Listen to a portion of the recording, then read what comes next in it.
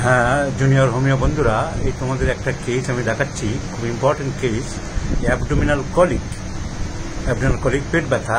পেট ব্যথা অনেক কারণ হতে পারে renal stone gall stone appendicular colic এগুলো বইয়ে খুব ভালো করে পড়তে হবে, বিভিন্ন কলিকের বিভিন্ন সিমটম থাকে। কিন্তু সব থেকে বেশি ব্যথা, অসহ্য ব্যথা, পেটের মাঝখানে ঠিক একটুখানি লেফট সাইড দিয়ে আরম্ভ হয়। আমি just left to the umbilicus এবং সেই ব্যথাটা পিঠের দিকে রেফার্ট করে এবং অসহ্য ব্যথা যদি হয়, হয়ে থাকে কোনো কলিকের তা হলো প্যাঙ্কিরাটিক কলিক। এবং সেই জন্য প্যাঙ্কিরাটিক ক্যান্সার হলে অসহ্য যন্ত্রণা, কোনো ওষুধ, অ্যালোপ্যাথিক কেনাকট বা কোনো ইঞ্জেকশনও কমতে চায় না। আর এমনি ক্যান্সার না হলেও যদি এমনি প্যাঙ্কিরাটিস হয়, অ্যাকিউট বা ক্রনিক, খুব মারাত্মক ব্যথা হয়।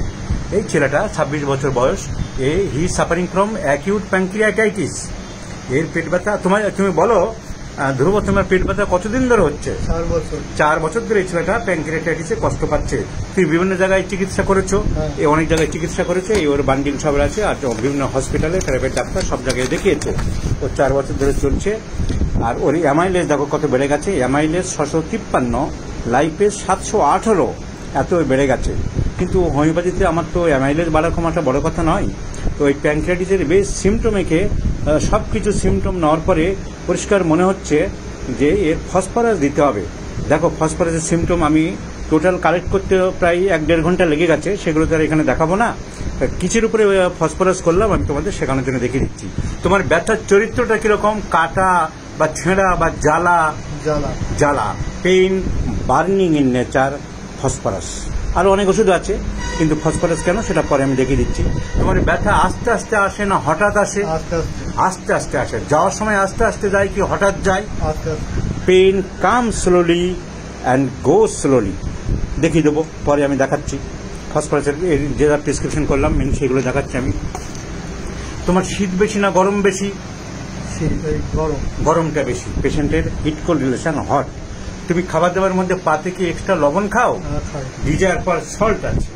আচ্ছা খাবার দাবার ঠান্ডা পছন্দ করো কি একটু গরম? ঠান্ডা।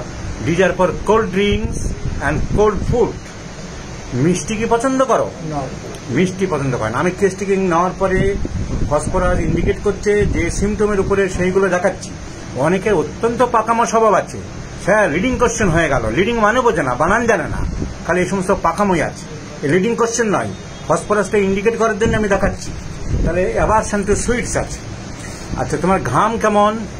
ঘাম মিডিয়াম ঘাম মিডিয়াম আছে।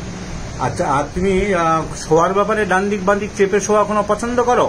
ডান দিকে। ও ডান দিকে চেপে শুতে ভালোবাসে। Prefers to lie on right side আর যেসব আচ্ছা এমনি অন্ধকারে কাজ টাজ করো পোলট্রি ফার্ম তোমার বলেছ কোনো ভয় টয় পাও তুমি? অন্ধকারে একা থাকলে ভয় লাগে কিসের ভয়টা পাও?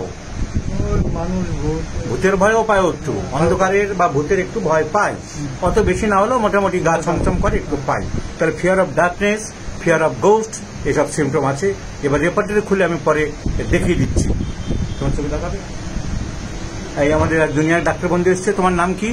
Arijit Haldar. Doctor Arijit Haldar BHMS practice করছে এমডি করেছে ডিএনডি হোমিওপ্যাথিক মেডিকেল কলেজ থেকে। ওরা শিখতে আসে জুনিয়ররা ও দেখল বলো অরিজিৎ এই কেস ফসফরাস তুমি স্যাটিসফাইড হয়েছো? খুব সুন্দরভাবে অরিজিৎ আমি দুজনে মিলেই রেপার্টারি ঘেঁটে দেখলাম। যে ফসফরাস খুব সুন্দরভাবে ইন্ডিকেট করছে। পরে আমরা রেপার্টারি বইয়ের পেজ টু পেজ ঘেঁটে পেশেন্ট এখন ছেড়ে দিই, রোগীর চাপ আছে, আমি তোমাদের দেখাবো যে ফসফরাস কীভাবে সুন্দর ইন্ডিকেট করেছে।